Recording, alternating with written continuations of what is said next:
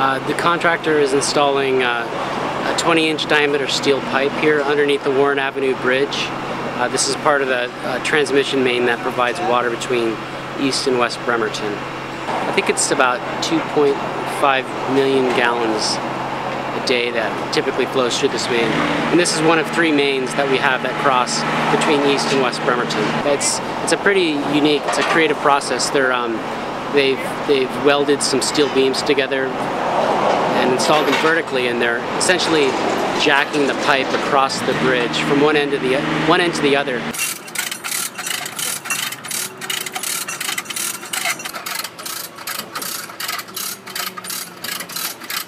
I think most contractors probably would have installed a scaffold along the entire length of the bridge and installed piece by piece. This one they're um, pushing, pushing it into place from one end.